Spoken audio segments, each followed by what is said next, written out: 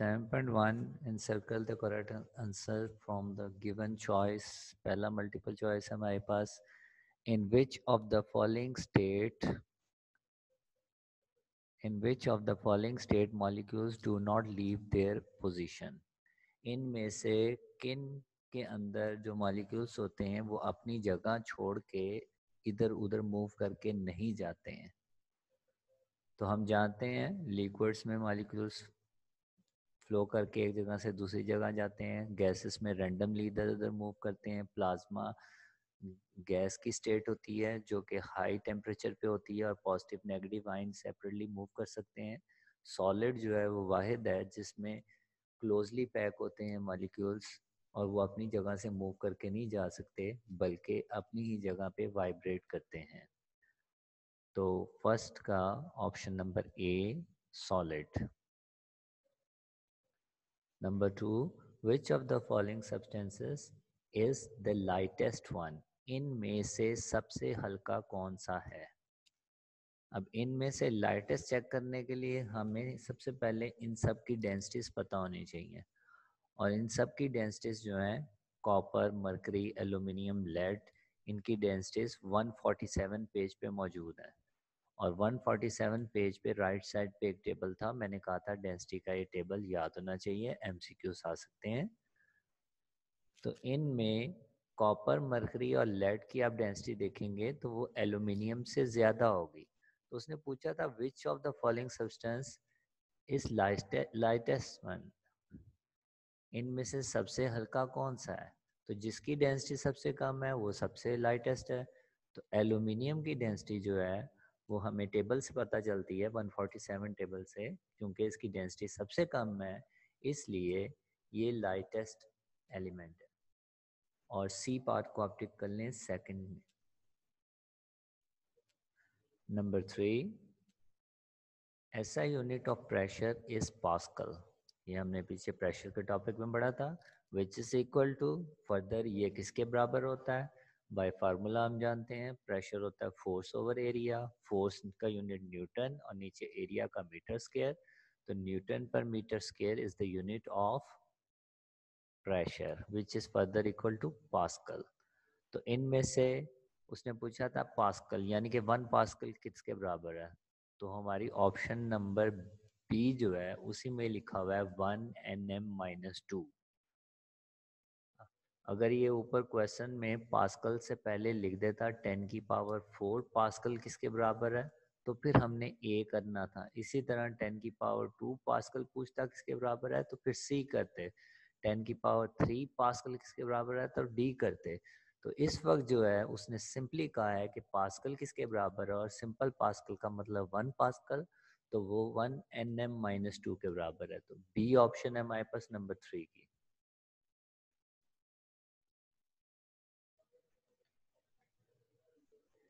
Number four हमारे पास।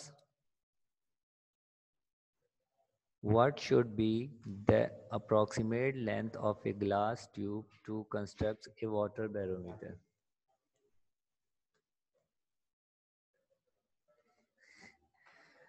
water barometer बनाने के लिए उसकी लेंथ सही, अभी आज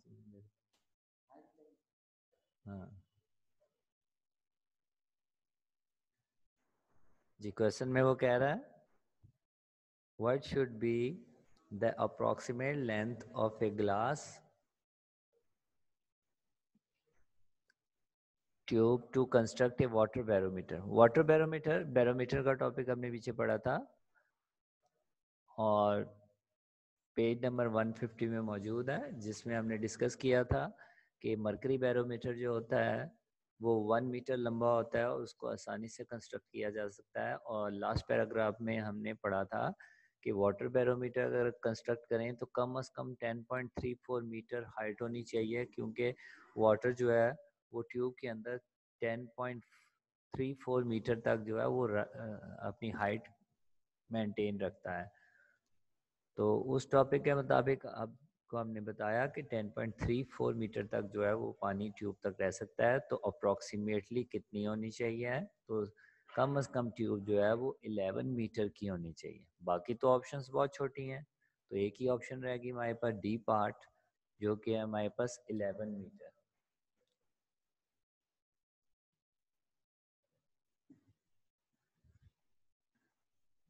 Number four D part 11 metre. Number five है according to Archimedes upthrust is equal to Archimedes में क्या कहा था? जब किसी ऑब्जेक्ट को पानी में इमर्स किया जाता है तो वो उतना पानी हटाता है जिस पानी का वज़न इस ऑब्जेक्ट के वज़न के बराबर होता है। ये सॉरी प्रिंसिपल ऑफ़ फ्लोटेशन में था। अश्विदस में क्या कहा था? जब पानी में कोई ऑब्जेक्ट इमर्स किया जाता है तो नीचे से ऊपर एक अपथ्रस की फोर्स लगती है और वो फोर्स बराबर होती है जितना पानी डिस्प्लेस किया होता है। तो आप देख सकते हैं फ़र्स्ट ऑप्शन में weight of displace liquid object जितना लिक्विड हटाएगा, उसके वज़न के बराबर जो है, वो हमेशा अपथ्रस लगती है, ये अश्मिदस ने कहा था। तो इसलिए ए पार्ट को आप टिक करेंगे। रिपीट कर रहे हैं। अश्मिदस ने कहा था, जब कोई ऑब्जेक्ट पानी में इमर्स किया जाता है डुबोया जाता है तो जितना पानी वो डिस्प्लेस करता है ऑब्जेक्ट उसके वज़न के बराबर जो है, नीचे से ऊपर अपथ्रस लगती है। इसीलिए हमने ए को हमने टिक करना है। नंबर सिक्स है the density of a substance can be found with the help of पीछे एक टॉपिक था डेंसिटी ऑफ़ एन ऑब्जेक्ट वो हमने अभी स्किप किया हुआ है। इनशाला कल आप स्कूल आएँगे तो हम करेंगे। तो उसमें फ़र्स्ट लाइन में आपको लिखा हुआ नज़र आएगा। ये मिलेगा आपको पेज 157 पे। फ़र्स्ट लाइन में लिखा हुआ है density of an object heading है। Archimedes principle is also helpful to determine the density of an object इसका मतलब ये है कि अशमिदस प्रिंसिपल के ज़रिए से डेंसिटी ऑफ़ एन ऑब्जेक्ट मालूम की जा सकती है। तो ये हमें 157 पेज में फ़र्स्ट लाइन पे आपको नज़र आ जाएगा, जो कि डेंसिटी ऑफ़ एन ऑब्जेक्ट हमने अभी टॉपिक कल करना है। तो अश्मिदस प्रिंसिपल क्वेश्चन था, the density of a substance can be found with the help of कैसे मालूम कर सकते हैं? अर्शमिदस प्रिंसिपल से मालूम कर सकते हैं। सी पार्ट को आप टिक कर दें। अर्शमिदस प्रिंसिपल उसके बाद है हमारे पास number seven according to Hooke's law Hooke's law के मुताबिक जो है, वो हमने पढ़ा था। स्ट्रेस और स्ट्रेन डायरेक्टली प्रोपोर्शनल है। और फिर हमने रीअरेंज भी किया था और एंड में एक कांस्टेंट की वैल्यू आई थी और वो कांस्टेंट की वैल्यू जो आई थी, वो हमारे पास आई थी constant is equal to stress over strain तो हुक्स लॉ के टॉपिक में हमने ये मैथमेटिकली में पढ़ा था constant is equal to stress over strain तो बी पार्ट जो है नंबर सेवन का बी पार्ट जो है, वो आपने टिक करना है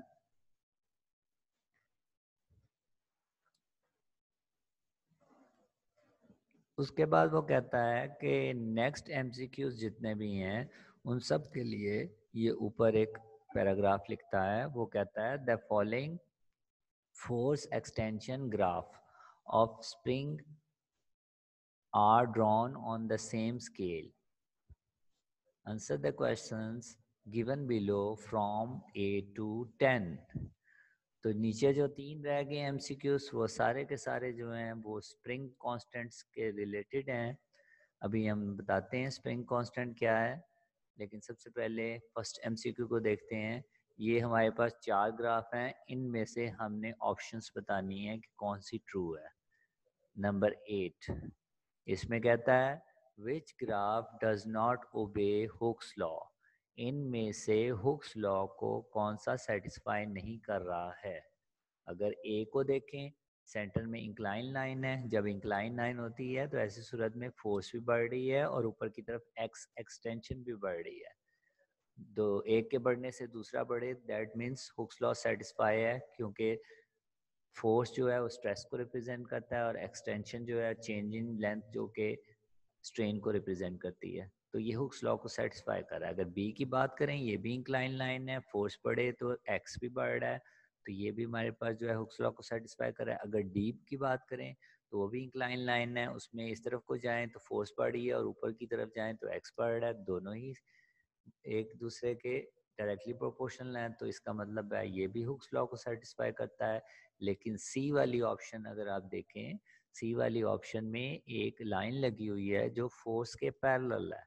ये लाइन जो है, ये हमें ये बता रही है कि फोर्स तो इंक्रीज होती जा रही है, लेकिन ऊपर की तरफ़ लाइन नहीं जा रही है, इसका मतलब है एक्सटेंशन नहीं बढ़ रहा है, वो एक जगह पे कांस्टेंट है। तो ये हुक्स लॉ को सेटिस्फाई नहीं करता है, यानी कि स्ट्रेस और स्ट्रेन एक के बढ़ने से दूसरा बढ़ रहा है, ये उसको सेटिस्फाई नहीं कर रहा है। तो इसलिए ऑप्शन नंबर सी को हम टिक करेंगे, जो कि हुक्स लॉ को सेटिस्फाई नहीं कर रहा है। उसके बाद है हमारे पास number five which graph gives the smallest value of spring constant सबसे पहले तो स्प्रिंग कांस्टेंट के बारे में पता होना चाहिए, तभी आप इसको सॉल्व कर सकते हैं। बेसिकली स्प्रिंग कांस्टेंट हमारी टेंथ की बुक का फ़र्स्ट लॉन्ग क्वेश्चन जो है, उसके अंदर इसका ज़िक्र है और उसके अंदर ही इसका फार्मूला मौजूद है। आप सेपरेटली इसके आगे स्प्रिंग कांस्टेंट का फार्मूला लिख लें। आप लिखें spring constant equal to F over X repeat कर रहा हूँ। इसके बिल्कुल आगे आप स्प्रिंग कांस्टेंट का फार्मूला लिख लें। Spring constant equal to capital F ऊपर और नीचे हमारे पास X X F over X अब ये स्प्रिंग कांस्टेंट का फार्मूला अपने जेन में रखें और फिर हमने नेक्स्ट टू क्वेश्चंस का जो है वो आंसर देना है। आप एक बात याद रखें, अगर ऊपर एफ़ की वैल्यू ज़्यादा होगी और नीचे एक्स की वैल्यू कम होगी तो ओवरऑल स्प्रिंग कांस्टेंट की वैल्यू ज़्यादा आएगी। रिपीट कर रहा हूँ, अगर ऊपर एफ़ की वैल्यू ज़्यादा होगी और एक्स की वैल्यू कम होगी नीचे तो ओवरऑल स्प्रिंग कांस्टेंट की वैल्यू ज़्यादा आएगी। इसी तरह, अगर ऊपर एफ़ कम होगा फोर्स कम होगी और नीचे एक्सटेंशन ज़्यादा होगा तो सॉल्व करेंगे तो स्प्रिंग कांस्टेंट की वैल्यू कम आएगी। तो इस चीज़ को जेन में रखते हुए हमने इन क्वेश्चंस के आंसर लिखने हैं। फ़र्स्ट में वो कहता है which graph gives the smallest value of spring constant spring constant की सबसे छोटी वैल्यू इनमें से कौन सा दे रहा है? अब स्प्रिंग कांस्टेंट के लिए स्ट्रेस और स्ट्रेन डायरेक्टली प्रोपोर्शनल होते हैं। ये, इसका मतलब ये हुआ कि सी वाली ऑप्शन को तो आप बिल्कुल ही निग्लेक्ट कर दें। वरना उसको चेक भी करेंगे बाय फार्मूला तो आपको पता लग जाएगा। क्योंकि आप देख लें, इसने पूछा था which graph gives the smallest value of spring constant spring constant के लिए वो टेंथ की बुक में आप पढ़ेंगे तो हुक्स लॉ का सेटिस्फाई होना ज़रूरी है। वो हुक्स लॉ के ज़रिए से ही हमने इसका फार्मूला ड्राइव किया है। तो सी पार्ट ऑप्शन जो है, इसको निग्लेक्ट कर दें। बाकी रह गया ए बी और डी जो कि हुक्स लॉ को सेटिस्फाई कर रहा है, उनमें से हमने बताना है कि स्प्रिंग कांस्टेंट जो है, वो स्मॉलेस्ट किसमें है? अब सबसे पहले बी वाली ऑप्शन देख लें। बी वाली ऑप्शन में अगर आप देखें तो ये लाइन दरमियान में बिल्कुल सेंटर में जा रही है। इसका मतलब है, जितनी फोर्स बढ़ रही है, उतनी ही एक्सटेंशन आ रही है।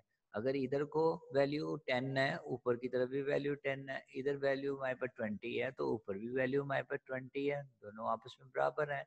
इसका मतलब ये हुआ कि फोर्स और एक्सटेंशन इसमें बिल्कुल इक्वल है। तो ये ऑप्शन हो नहीं सकती क्योंकि ऊपर नीचे कैंसिल करके हमारे पास वन के बराबर आ जाता है तो बड़ी और छोटी वैल्यू कोई नहीं आ रही एफ़ और एक्स में।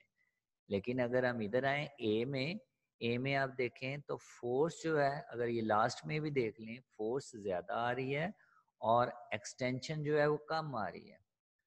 तो ए पार्ट में फोर्स ज़्यादा एक्सटेंशन कम। तो इसमें स्प्रिंग कांस्टेंट तो बहुत ज़्यादा आएगी, क्योंकि फोर्स ज़्यादा में स्प्रिंग कांस्टेंट ज़्यादा होती है। उसमें स्मॉलेस्ट पूछिए, हम डी में आते हैं। डी में आप देखें, ये डी में फोर्स कम है और ये लास्ट पॉइंट से अगर इस साइड में आए तो एक्सटेंशन ज़्यादा है। यानी कि एक्स की वैल्यू ज़्यादा है यहाँ पे और नीचे फोर्स जो है, उसकी वैल्यू कम है। तो अगर x की वैल्यू ज़्यादा है और फोर्स की वैल्यू कम है तो मैंने आपको बताया था, f ऊपर अगर कम होगा और नीचे x ज़्यादा होगा तो सॉल्व करेंगे तो एक छोटी वैल्यू आएगी। तो इसलिए स्मॉलेस्ट वैल्यू जो है हमारे पास, इस वक्त नंबर नाइन में जो आ रही है, वो हमारे पास डी है लास्ट ऑप्शन है। अब इसी के अगेंस्ट उसने दसवें में भी ऐसा ही सवाल पूछा है, वो कहता है which graph gives the largest value of spring constant? अब इन्हीं तीनों ग्राफ को देखेंगे, क्योंकि स्प्रिंग कांस्टेंट तो इन तीनों में सेटिस्फाई होता है। बी वाला जो है, वो तो ऑप्शन है ही नहीं, क्योंकि वो दोनों ही बराबर है एफ़ और एक्स अगर ए वाले को देखें तो उसमें एफ़ की वैल्यू देख लें। अगर लास्ट पॉइंट पे देखें तो एफ़ की वैल्यू बहुत बड़ी आ रही है, और इसके अगेंस्ट अगर एक्स की वैल्यू देखें तो वो छोटी आ रही है। तो फोर्स ज़्यादा और एक्स कम हो तो ऐसी सूरत में क्योंकि F over X formula spring constant का तो ऐसी सूरत में स्प्रिंग कांस्टेंट लार्ज होता है, बड़ी वैल्यू आती है। तो इसलिए नंबर टेन में हमारे पास ए पार्ट जो है, वो आपने टिक करना है। तो ये बाय फार्मूला आप डिसाइड कर सकते हैं, और फार्मूला मैंने आपको लिखवा दिया है spring constant is equal to F over X नीचे कुछ क्वेश्चंस हैं, उनकी मार्किंग कर लेते हैं।